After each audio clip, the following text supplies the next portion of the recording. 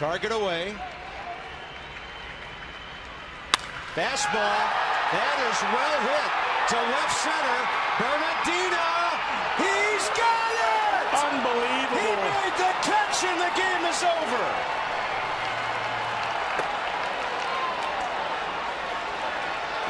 Roger Bernadina saves the game.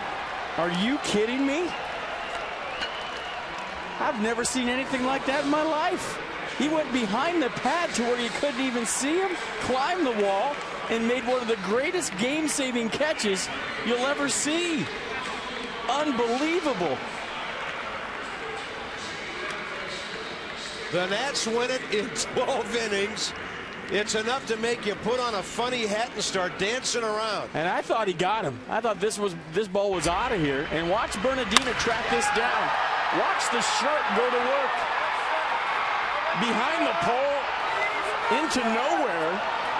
And he makes one of the greatest catches you'll ever see to end a ball game. Unbelievable. And just like that, the Nats go to four games up on the Atlanta Braves. And look at the reaction from Tyler Clippard. Well, as great as that play was he made at Washington in center field a couple of years ago, given the situation, you've just seen the greatest catch of Roger Bernadina's career and maybe, maybe the best outfield play by a man in the history, the young history of this ball club. That is